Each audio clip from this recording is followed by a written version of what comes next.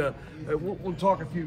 So one of the things that we get into is uh, sensors and how do we enable our uh, our FEST teams. And so can you guys talk a little bit about some of the array things that are currently out in the field today that engineers are using, and then we'll talk about where you think it's going. Absolutely.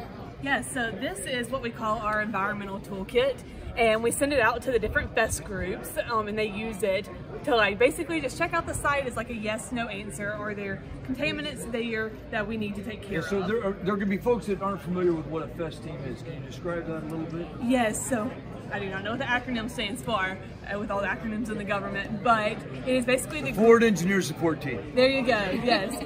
So they go out and basically they do like a recon of the site before the soldiers get there, and so it's basically just making sure everything is clean and um, in a good environment for our soldiers to come in and set up camp.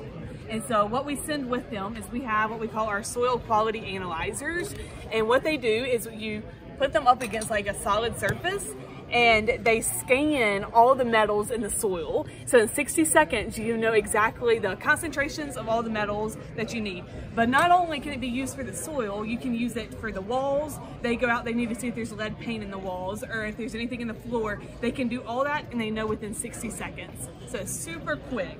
Um, we also have our air quality meter and what this does is it analyzes uh, all the different gases and so it's just constantly sucking it through with real time but it also comes with a probe where you can put it into confined spaces and so moving forward, what we would like to do is connect those onto drones or even like robots. And that way we do not have to send our personnel in if it is a harmful environment. They can know beforehand and it logs the data so that they can just put it in and know exactly what they're breathing. It also comes with 25 different sensors so we can interchange it. If there's a specific gas that someone may be concerned about, we can make that happen.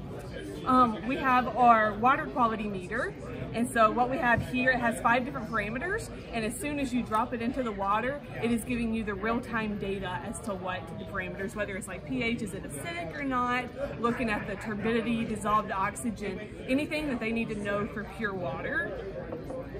We also have what we call as our PET kit, so it is our petroleum extraction kit. So I don't know if you can see that, but it fluoresces if there's petroleum in the soil or in the water. And so it's a very quick visual kit that they can just extract the water and then know if there is oil in there. So currently we have eight to 10 kits that are sent out on a regular basis.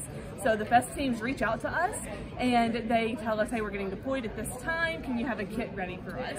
And then um, once they get done, they send it back. We calibrate it, we maintain it, send it out to the next group.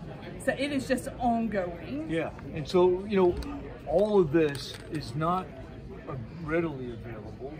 Uh, if you're down in an engineer platoon, an engineered company, but the key is this is available in the festivals. That's right.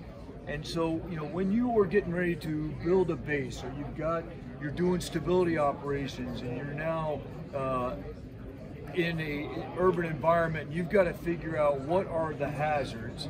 What sappers need to know is this is available, FEST teams can have it, and they can bring it to bear on your battlefield, and really, really important. And then where do you see this going? So you were talking about all this is handheld, but we're getting ready to go to sort of a remote delivery and sensor. Is that where we're going? That, that's right. So we're actually in the process of making the ETEO kit version 2. And so we get feedback from the FEST teams as to what they would like to see moving forward. And then we're trying to make that happen. And so we have handhelds that are going to detect radioactive material. Um, we have asbestos meters. We're also incorporating drones into it so that they can put the sensors onto the drone, fly it into the area that they need to go, or if it's a cave and they need to put a robot in there, they can do that as well. And so um, we love to hear feedback. They want like infrared cameras to be able to see into the walls and whatnot. And then we're just taking that and moving forward. And so hopefully that will be out real soon. I know we're going to talk about the UROC in a second, but if somebody had a, a, problem and they needed to get some sort of sensor or know whether there is a sensor that can help them detect whatever uh, hazards out there, they can go through the UROC and they come to you guys and then we, we solve their problem. Absolutely. Yeah. So it is as simple as a phone call or an email. I was talking to a couple of people this week and they were like, how do we do this? I was like, here's my card. Give me a call, and we'll make it happen. Yeah, so yesterday, uh, one of our Army divers was here and was talking about, you know, the, the issues that they have with creosote in the water. Mm-hmm. And uh, you were already trying to help solve that problem. Absolutely. It was fantastic to watch. So we're going to keep moving on. This is one part of ERDC. Let's go to the next one.